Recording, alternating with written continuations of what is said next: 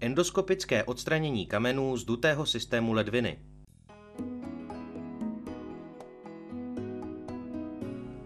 Samotný výkon začíná zavedením ureterální cévky do močovodu.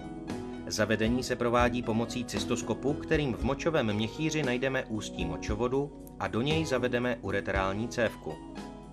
Toto je endoskopický pohled na ústí ureteru v močovém měchýři. Do něj pomalu zavedeme slabou ureterální cévku.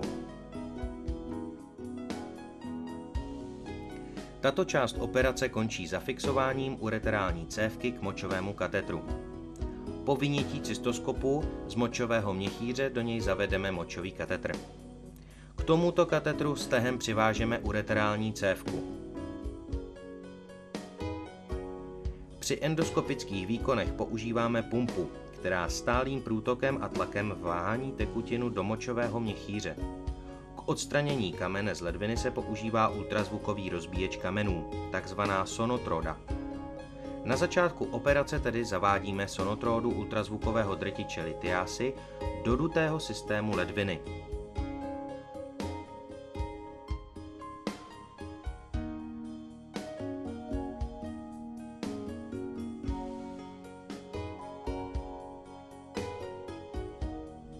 Jednotlivé fragmenty litiásy je potřeba pečlivě vyndat klíšťkami z ledviny. Zde jsou vidět jednotlivé fragmenty litiásy, které se následně odesílají na biochemický rozbor. Někdy je nutné litiásu drtit sonotródou na několikrát, než se zcela rozpadne. Na konci operace je nutné zavedení nefrostomie, tedy hadičky, která poté odvádí moč z ledviny, dokud se ledvina po vpichu nezahojí. Nefrostomie ještě proplachujeme, aby se neucpala drtí kamene nebo krevní sraženinou. Na konci je nutné fixovat nefrostomii ke kůži stehem, aby nevypadla a ledvina měla čas se zahojit.